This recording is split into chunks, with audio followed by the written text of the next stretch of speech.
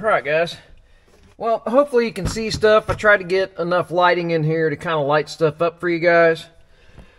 Uh, I'm out in the shop. It's a little hard to get uh, some lighting in here, but this is one of those uh, dash, I don't know what you want to call it. I'd, I'd call it a storage bin. I know you're supposed to put like a tablet or something in it. Got it off of Amazon. It was pretty cheap. Um, it looks like it's molded and fits really good. I kind of asked some guys on the the Gen 1, Gen 2 site about, hey, what do you think about uh, the Can-Am one? They said, get the one off Amazon. It's just as good, it fits good, and it's cheap, way cheap. So, I thought I would try to show you guys here how I'm going to install it. You can see that. So I took my windshield loose, and uh, I know this is going to sound weird, but we used to have to do something very close to this back in the day when the Ford Contours were around. Um, they had a problem with the dashes would curl up on them and we had to get into tight quarters back here and run screws and stuff into it. Um, and I thought I would use that process also today. But I do have to find where I put my bit. There's my bit. So this kit, you have to put two screws. You have to put a screw on each side of the dash there. And then you want to make sure that you've got it kind of where you want it. It kind of wants to sit in a particular spot, which is kind of nice. Um, I made sure my door opened up and all that. Show you guys. You have to drill two quarter inch holes here, but you have to put screws in back over there. Well, if you've got a windshield in it, your windshield's in the way for getting in there. So, thought was, is you take a quarter inch air ratchet and you put a screwdriver bit in it because here's your screw that you have to put in with a washer. I haven't tried this yet and it looks like it's gonna fit. So, hold that off of my windshield.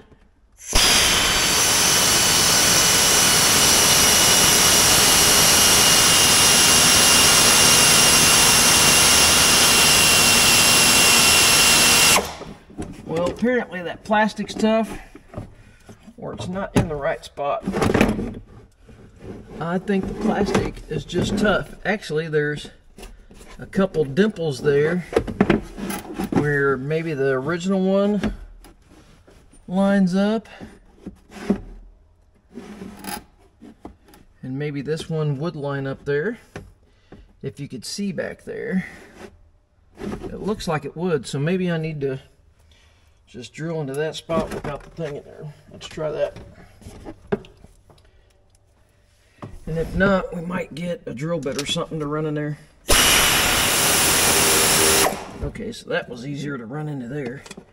It's a softer spot than that dash. I didn't notice that before.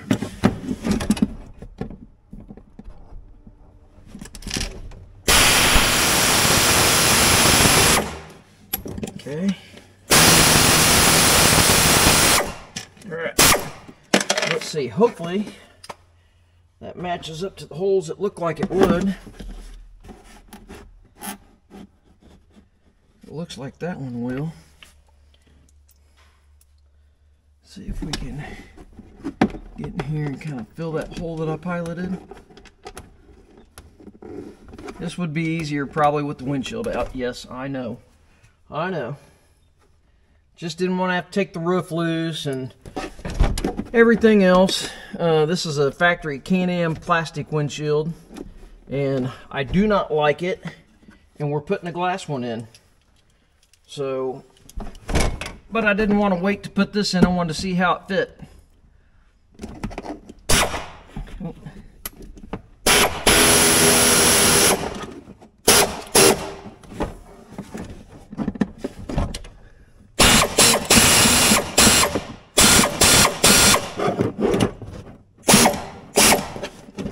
Go.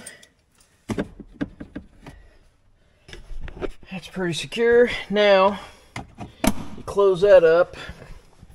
Uh, let me let me figure out a new place to put you guys. Hang on.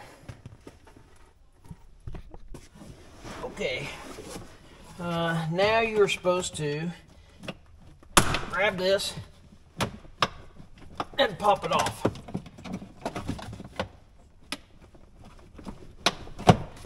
Holds pretty good. Try not to break anything.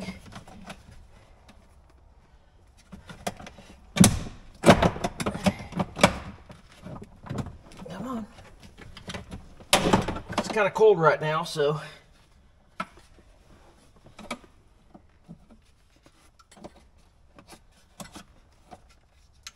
was trying to see why it was so tough coming off. Um, and then you push a button, drop it down, and they want you to drop that switch plate out because they don't want you to drill through your wiring. So take your quarter inch drill bit.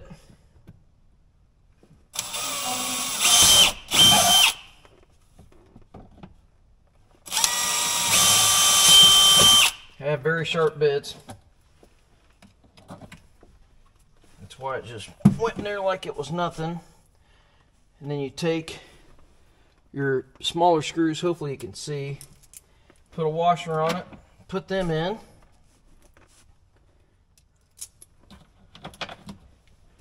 And then got a washer and a nut to go underneath.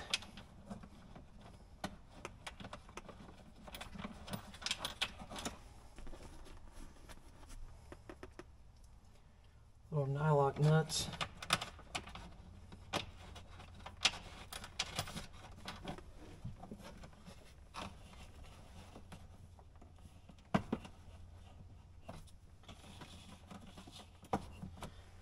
Doesn't all the way in there, I don't think. Maybe I hit it with the drill bit and moved it out of the way. Um, and then it is a need a T25 Torx bit and a 10 mil. And actually, we have an air ratchet, quarter inch air ratchet right here.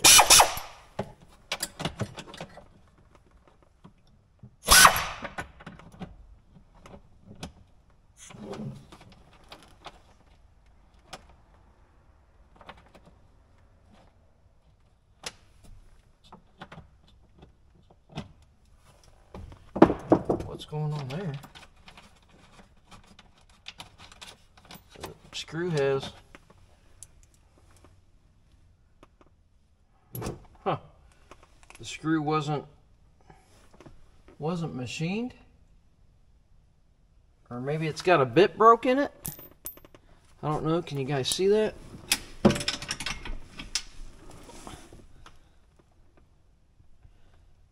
That's kind of weird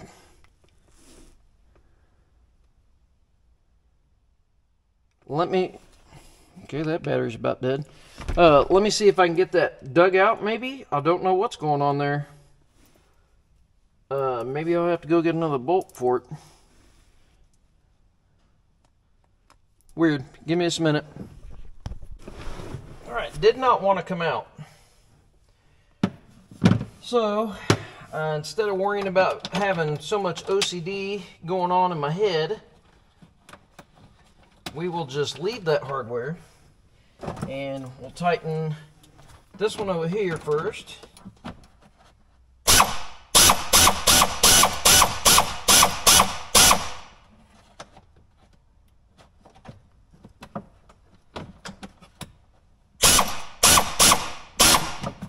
Try not to over tighten it.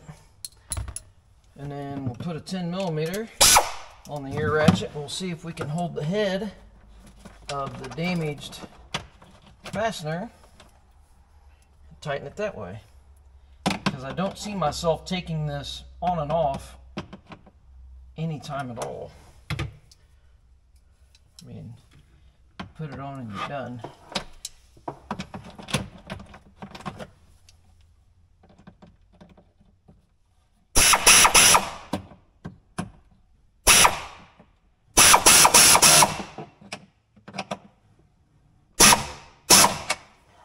There we go. Very, very, secure. Nice. I don't really think I'm ever going to put uh, an iPad there, but I could easily probably put my phone in there maybe. I mean, definitely not sideways. I don't have a very big phone. Uh, anyways, but that's putting in the uh, electronic holder, cubby hole, whatever you want to call it. It's got pretty good space in there. And then obviously you can put your iPad or, you know, some device here. And then it looks like it's got provisions on it. You could probably put your, uh, sorry for the lighting guys. You could put some kind of phone mount or something on it, which my wife might actually do that.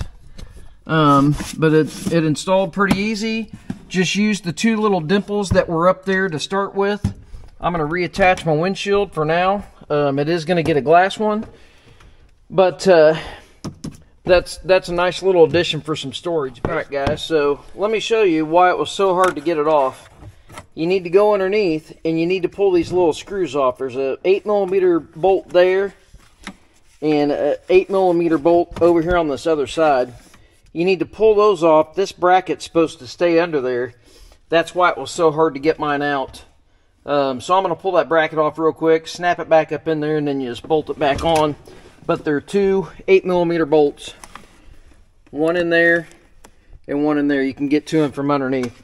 So hopefully you watch this video all the way through and you pull those two bolts off first instead of pulling that bracket out with it. That face ought to come off a lot easier. All right, well, I'm still happy with it. I like my deal. Let's let's get on to something else. All right, so there's the bracket snap back into place. So after you do that, see if I can do this one-handed now. Probably so. Just snap your snap your plastic back in, and then you got two small bolts to put back in. They're eight millimeter. So, anyways, there's your new uh, your new electronic holder sitting in your Can-Am Commander. And I think they're the same as like the Maverick Sport and the Maverick Trail. So, anyways, thanks for watching, guys.